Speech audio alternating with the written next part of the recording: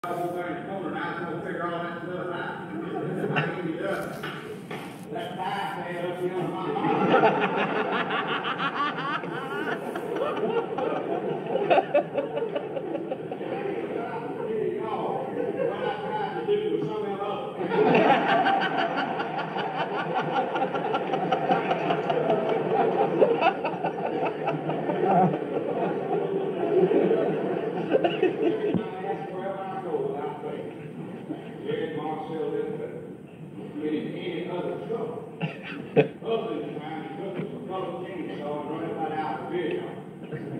And, to get, Marcel got into one of those straight.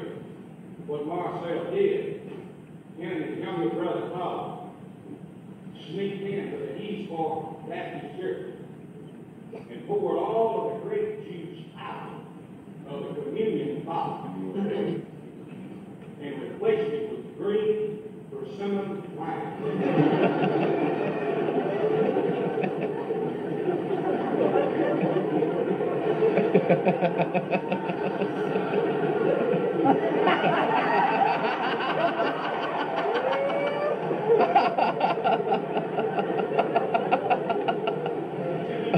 Lord's Way.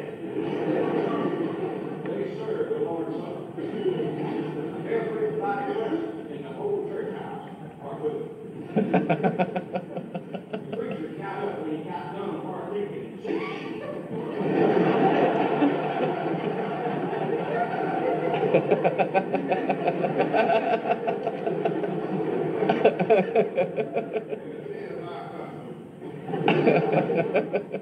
will sing a song.